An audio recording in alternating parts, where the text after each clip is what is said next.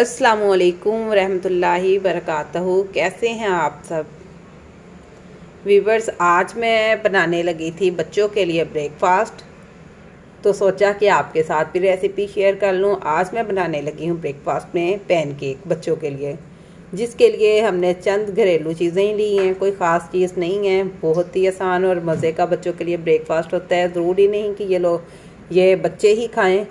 ये बड़े भी खाते हैं। बहुत मज़े का है। ब्रेकफास्ट रेडी होता है। तो चले, मैं अब आपको इंग्रेडिएंट बता दूँ। ये मैंने एक कप लिया है मैदा। ये मैंने एक कप मिल्क लिया है। आप मिल्क ये नहीं कि एक ही कप डाल लें हम मिक्सचर देखेंगे इसके लिए। हमें मिक्सचर कैसा चाहिए, अगर और ज़रूरत पड़ी तो हम डाल लेंगे। ये मैंने हाफ़ कप जो है हाफ़ कप से कम है, चीनी ली है। ठीक है? ये मैंने बेकिंग पाउडर लिया है। उसके बाद ये मैंने ऑयल लिया है, ये हमने मिल्क जो है रख लिया है एक्स्ट्रा अगर हमें ज़रूरत पड़ी तो हम डालेंगे।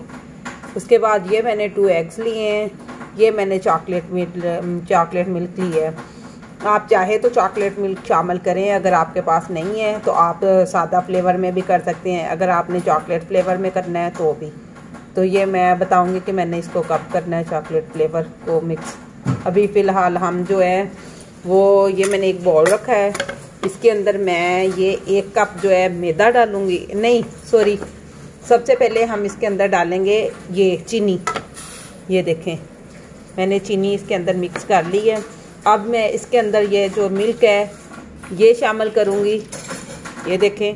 और हम इसको फोक की मदद से या बीटर की मदद से जो भी चीज़ आप इस्तेमाल करना चाहें, कर सकते हैं। हम चीनी को अच्छी तरह मिक्स कर लेंगे।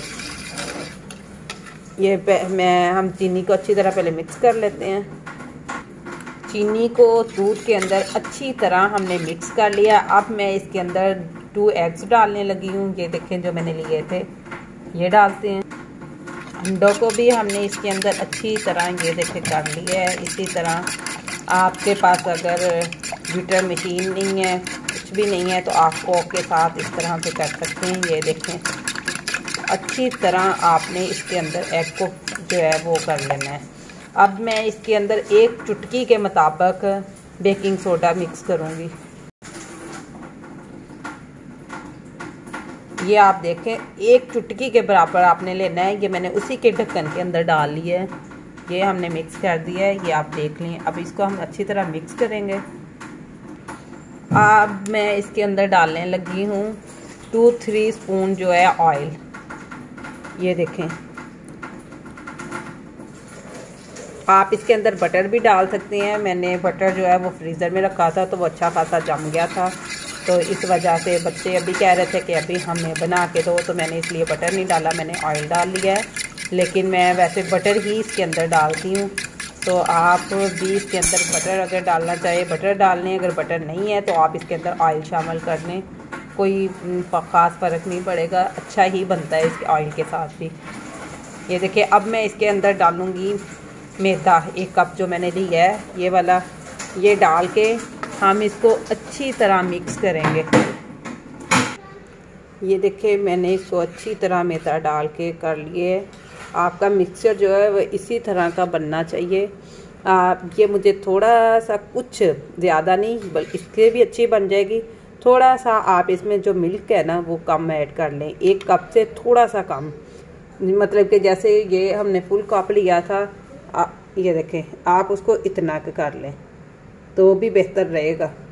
लेकिन आपका मिक्सचर इस तरह होना चाहिए ये देखिए ढेलियाँ नहीं बननी चाहिए और बहुत अच्छे इस तरह होना चाहिए मुलायम। अब मैं इसके अंदर वनीला फ्लेवर का एक स्पून डाल देती हूँ क्योंकि मेरे पास तो लिक्विड में है।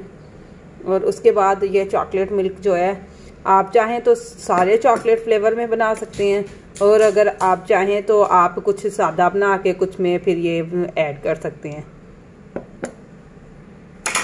मैंने इसको ऊपर रख दिया है और इसमें ऑयल डाल दिया है। ऑयल आपने बहुत ज़्यादा नहीं डालना, इसी तरह हल्का सा डाल के आपने इसको सारे पैन को ऑयल लगा देना है हल्का हल्का ये देखिए, मैंने चेक कर लिया, ऑयल गर्म हो गया है।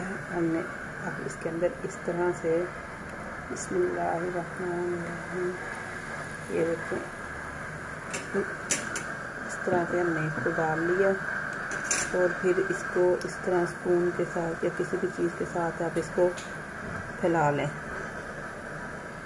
ये देखें। आपने इसको इस तरह से फैला लेना है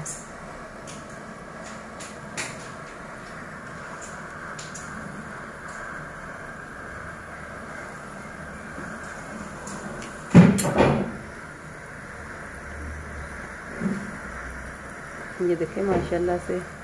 अब हम पहले इसकी एक साइड पकने देंगे, फिर हम इसको दूसरी साइड करेंगे।